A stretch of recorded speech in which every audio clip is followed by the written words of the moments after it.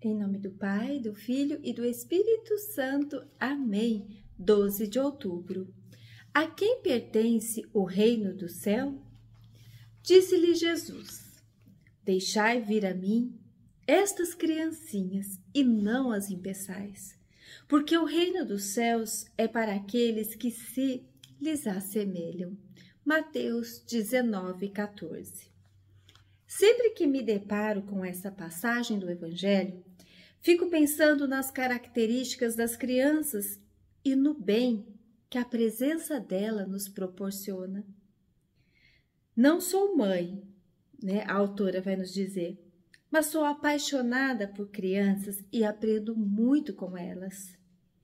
Por mais que pareçam inocentes, e na verdade são, elas têm uma capacidade incrível de percepção e uma sensibilidade enorme, principalmente quando o assunto é empatia.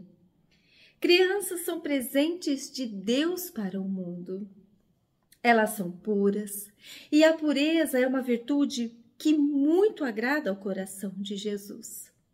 São simples e, como temos carência de simplicidade, as crianças são livres e a liberdade é um dos dons mais preciosos que Deus nos deu. E além disso, são alegres, riem com leveza, e nós podemos reaprender esta arte, já que as preocupações de gente grande têm roubado a nossa disposição para o sorriso. As crianças também são amáveis, verdadeiras, criativas, gratas e gentis, esperançosas e têm muitas outras virtudes que poderíamos destacar. Certamente é por isso que Jesus diz para sermos como elas.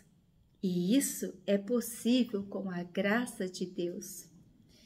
Independentemente da idade que você tenha, a criança que você foi um dia continua viva dentro de você.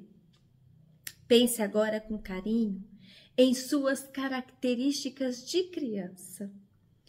Quais eram as brincadeiras de que mais gostava, as pessoas que você mais amava? Recorde-se de como era o seu jeito de ver as coisas e peça a Deus a graça de retomar a essa essência, para assim aproximar-se do reino do céu. Oremos.